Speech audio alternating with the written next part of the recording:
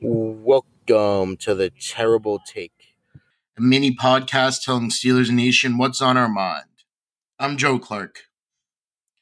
The national media as a whole needs to stop making so many lists and polls ranking various different player accomplishments from where they rank in their position to where they rank all time to, you know, at this point, it's like ranking what they had for lunch yesterday I get it. It's a dead period of the NFL calendar. There's nothing going on. You have to get creative. You have to find and create things to write about. The creativity isn't making lists or rankings that have been made a million times before. What set me off today was the 33rd team's ranking of the best 11 safeties in football. Last July, the 33rd team ranked the best 11 safeties in football. What has changed between last July and this July that a new ranking needs to be made? Like that, nothing has changed. Like all of a sudden, a year later, you have to go and reevaluate the best eleven safeties in football. And somehow Troy Polamalu fell four spots, and Donnie Shell fell, I think, four spots too. I mean, Troy Polamalu hasn't played NFL snap in eight years. Donnie Shell a lot longer than that. It, it doesn't make any sense. And nobody who jumped them on the list is like somebody who had a like you know great year last year. There's nobody currently that is on like look what are we doing? And I will say, like some some of these some of these lists and these polls are better than others.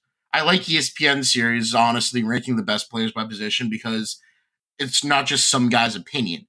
Uh, it's a survey of coaches, executives, and scouts, and it feels more put together. Actually, offers some good insight. Sometimes there's a good quote there from you know a coordinator, a personnel director, whoever. It's not just you know some guy throwing together a list of here are my seven best nose tackles, which, and hey, there's nothing wrong with that necessarily, but we just don't need some of these lists as often as we have them. I mean, we're at the point where we're ranking like player comebacks, like player coming back from injury, player coming back from, you know, illness, like Teddy Bruschi or Eric Berry. Like, it, fine, good, okay, fine, whatever you want to rank it, but you're going to put like John Riggins, who came back from a holdout, ahead of Rocky Bleier, who came back from, you know, being permanently disabled and won four Super Bowls after you know, losing part of his foot to gunfire and shrapnel from the Vietnam War. And, you know, we put a guy that just worked on his farm for a year. Like, it's just, it's just the oversaturation of them just makes them so dumb. Like, it just to try to create content, and you're just doing so many of them that you just lose track of what actually makes sense. So it doesn't make sense. It's just beyond ridiculous. And like, I'm fully aware that it shouldn't bother me. It's just, you know, one guy's opinion. And it really doesn't bother me as much as it's just so frustrating to see just the inconsistencies and just the pure stupidity of these lists that just don't make sense. But at least we have training camp in, you know, two less than two weeks now. Uh, it's going to be a wild ride, going to be a lot to talk about. Uh, it's going to be busy, but we won't have to dissect random lists for another year. And I can't say I'm too upset about that.